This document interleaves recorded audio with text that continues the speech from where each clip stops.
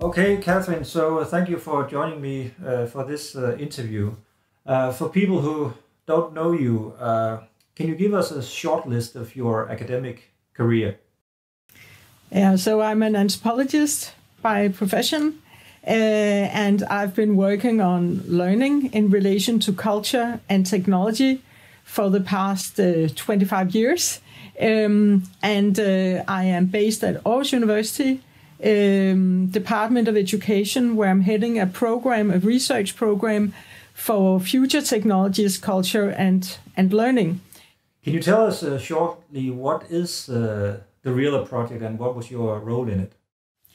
Yeah, first of all, I was uh, the idea generator and uh, I was also the coordinator. I uh, wanted to, to, work on robotics uh, from a more humanistic perspective, so to speak. Just to give you one example, uh, we followed a healthcare robot. We followed several, but uh, in one of the cases, they had made something for for people who had had a stroke to train with a robot. That's very clever and very good, very interesting technology. But they hadn't thought about how the individual user who has had a stroke and therefore is kind of lame uh, would be able to attach this robot to his or her body.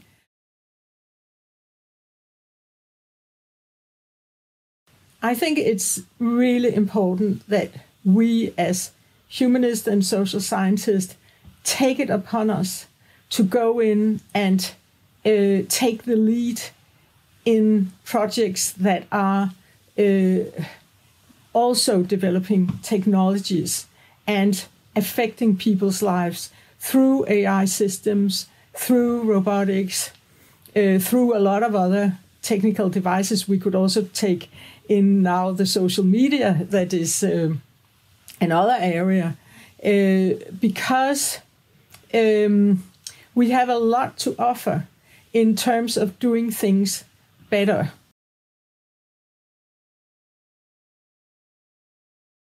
In, in the global challenges presented in Pillar 2 of uh, the Horizon Europe, the, the EU Commission is asking for projects to address what they call predefined and policy driven challenges. So, how did you go about understanding and, and addressing these um, political uh, elements in your project under the Horizon 2020? Yeah, so, so the first thing was that we really wanted to do this kind of research which means that we were looking for calls that would help us do that.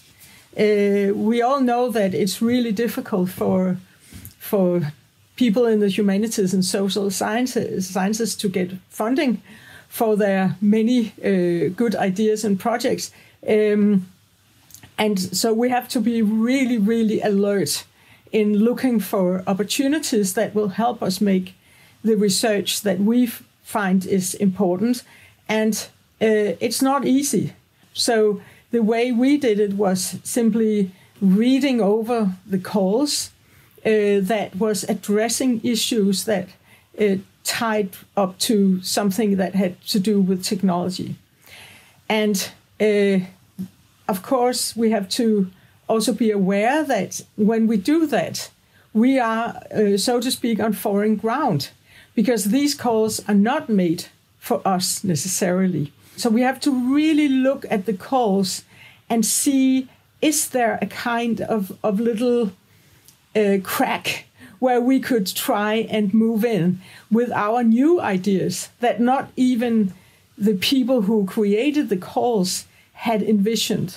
So we have to move beyond, in a way, what they envision, and at the same time, really try to understand why they made the call they did. That's a very difficult uh, task and balance, but as we have shown, it can be done.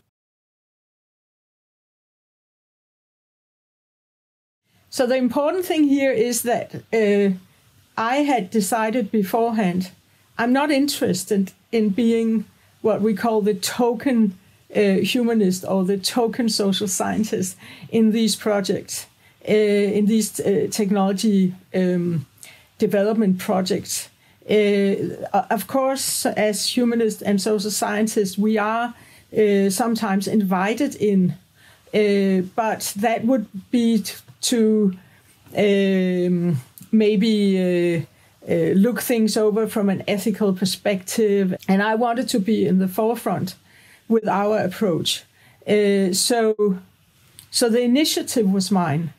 But of course, we needed people from the technical sciences uh, with us there because they have the expertise in developing these technologies. So, of course, it was really important to have engineers with us who knew how to do uh, robotic work and artificial intelligence. And we also wanted uh, to have um, uh, some ideas about the economic impact that we contributed with uh, in this project.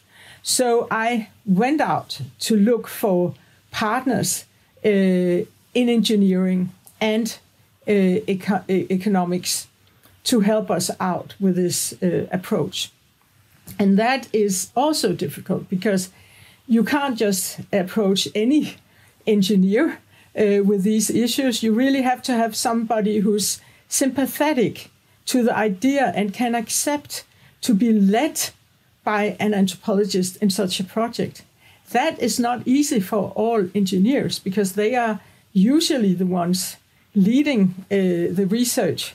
So you have to look for people who are willing and find it interesting to work from these perspectives. And what, what we clearly showed, uh, we made a big publication together called Perspectives on, on Robots, uh, is that you can actually work together across uh, these lines. Uh, and, and, and it's not that it's either you are in the engineering way of thinking or in, in the social sciences humanistic way of thinking you can learn from each other. That was the whole idea of the project. And we could also show that you can learn. First of all, as I said before, it's really, really hard uh, in the humanistic and, and uh, social sciences to get uh, funding because we are many and we are very good. uh, and the funding resources are meager. But also, I think we have a kind of mission.